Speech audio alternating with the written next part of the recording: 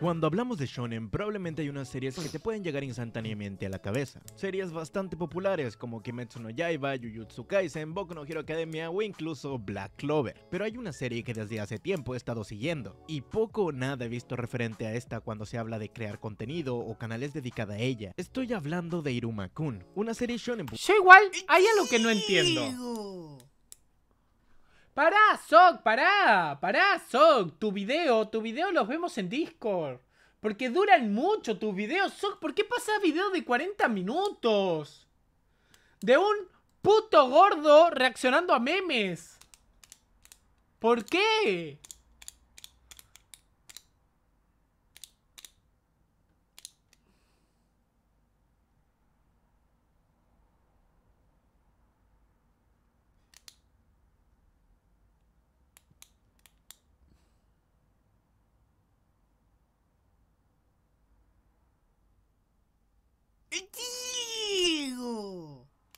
Vamos con Kurosuka.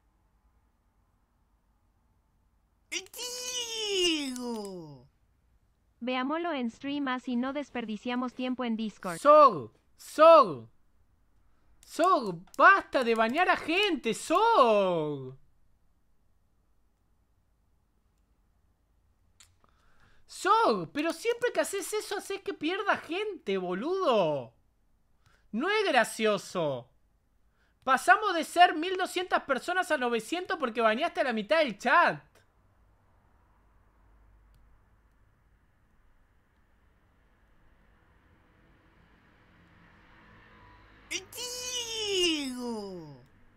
Do Iker. Pero ¿para qué querés que veamos tu video? Explícame.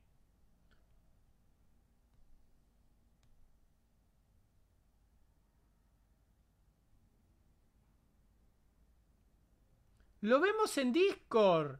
Es un video de un puto de una hora, de un yankee que yo no entiendo qué dice. Mirá el video lo que es, mirá. Mirá el video. ¿A qué punto llegaste? Hijo de puta, ¿a qué punto llegaste? Bye chat. SOG Vans Menau. Zurdos. Because he say so. Just realized he meant the virus. I mean the virus. Digo. Tienes que pagar esos 129 bits XD.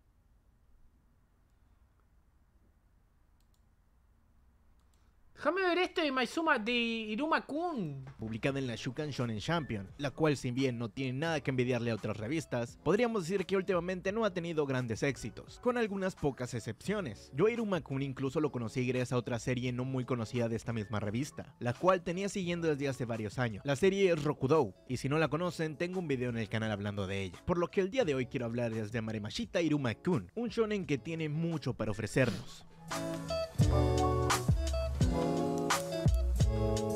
La historia de Iruma inicia con la introducción a su vida. Él es Iruma, un joven de 14 años que desde joven fue explotado por sus padres, haciéndolo tener muchos trabajos para que ellos pudieran costearse una vida más cómoda, prácticamente viviendo como un esclavo toda su vida.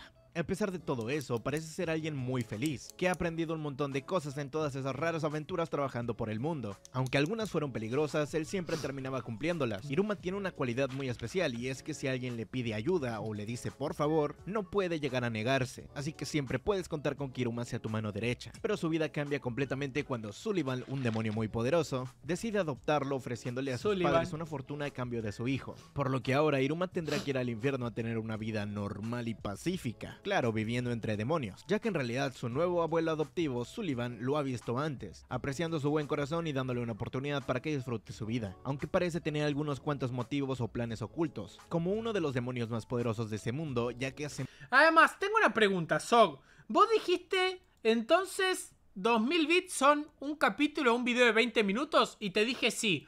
¿Por qué me pasaste uno de 43? Miles de años que no tienen un verdadero rey demonio. En primera instancia, esto es Iruma Kun, una historia de un joven con una vida muy desafortunada viviendo todos los días como esclavo, por causa de sus padres. Pero bajo esta fachada o premisa muy simple, que podría considerarse genérica, se esconde una historia muy bien trabajada. Los primeros capítulos del manga y anime sirven para que Iruma conozca este lugar, ya que al vivir toda su vida como alguien sin 4K estudios y maltratos, jamás tuvo la oportunidad de hacer algo para él mismo. El desarrollo de Iruma es uno de los más interesantes, ya que primero se nos presenta como un típico niño con buen corazón, pero mientras más avanza iremos descubriendo las diferentes facetas de su personalidad, incluso descubriendo que ese niño tan puro y bueno tiene una pizca de maldad oculta que sale a la luz más adelante. Algo que curiosamente aplica para todos los personajes, ofreciendo una amplia gama de demonios representando diferentes diseños y cualidades ¿Alguna, ¿Alguna editorial vende Iruma-kun? ¿O siguen sin venderlo? Me gustaría comprarme el manga Iruma-kun para empezarlo. Pa, qué nariz.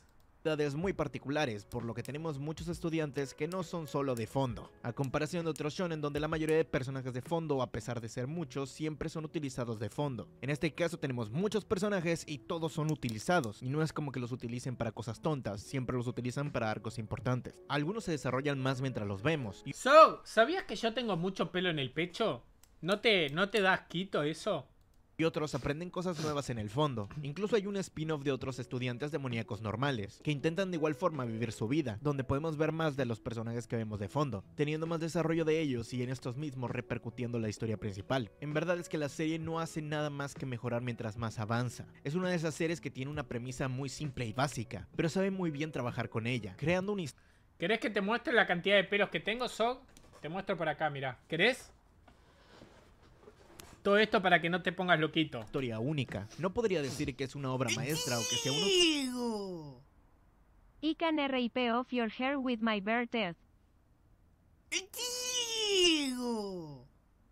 Lo que importa es la personalidad y cómo lo usas de los mejores shones del momento, aunque a decir verdad podría llegar a serlo si se lo propusiera. Tiene personajes interesantes y los arcos donde vemos el crecimiento de Iruma están muy bien hechos. A muchos podrían aburrirles porque no es un shonen que se centra principalmente en las peleas, está más enfocado en un ámbito escolar y demoníaco. Algunos enfrentamientos son inevitables ya que hay festivales escolares donde tienen que demostrar sus mejoras y aptitudes, pero fuera de eso la serie no está enfocada en la acción y peleas. Así que tengan esto en cuenta, la serie sobrevive únicamente por la personalidad que tiene cada uno de los personajes de los cuales hay muchos para elegir, tanto hombres como mujeres resultan muy llamativos. Cualquiera de ellos podría ser un protagonista. Che, eh, ¿a ustedes les gusta cosas extrañas? Hay cosas muy importantes que se desarrollaron en los últimos arcos, y es que todos los personajes secundarios son individuales o únicos. Si bien ellos aprecian mucho a Iruma, por ser alguien que les ha ayudado siempre, hay un momento específico donde estos aclaran que ellos no tienen que estar ayudando a Iruma forzosamente, ellos también quieren ser sus protagonistas de la historia y tratan de cumplir sus metas sin importar que Iruma se ponga de frente, compitiendo directamente con el protagonista a pesar de ser amigos. Cada uno tiene sus propios objetivos. Show me your feet then. Pero ¿para qué quieres ver mi pie? A ver si llego con mi pie. Mi piecito. Mira mi piecito. A ver. Mira mi piecito, mira. Pero ¿para qué quieres verme el pie? Puto enfermo. Todavía me tengo que tirar para atrás. ¡Ay, me hice mierda el pie! ¡No! Tenía apoyado el pie sin darme cuenta y me quedó todo rojo. Mirá. A ver, mira, mira, mira, mira. A ver, mira, a ver. A ver, a ver, tengo que ver esto. Eh, mira mi piecito, mira. Mira, so. ¡Ay! Mira mi piecito, mira. Quedó todo rojito. ¿Te gusta mi pie? ¿Te gusta? ¿Sexo?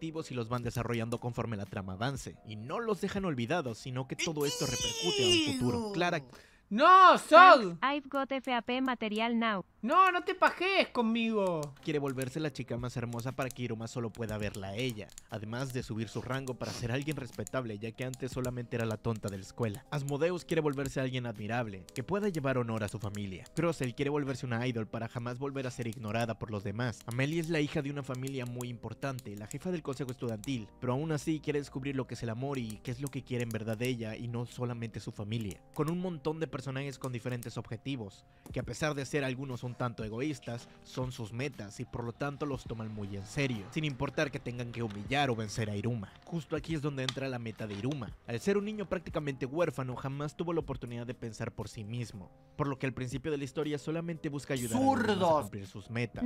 Pero en algún punto se le pregunta a Iruma qué ¿Qué son los armpits?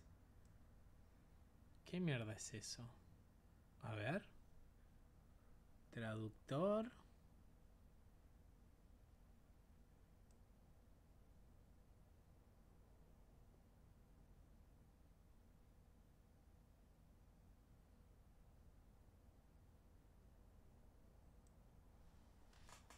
Pero mis axilas son peludas, Sog. Mis axilas tienen mucho, mucho pelo, mirá. Yo... Mira, mira, mira. Ahí tenés sobaquito.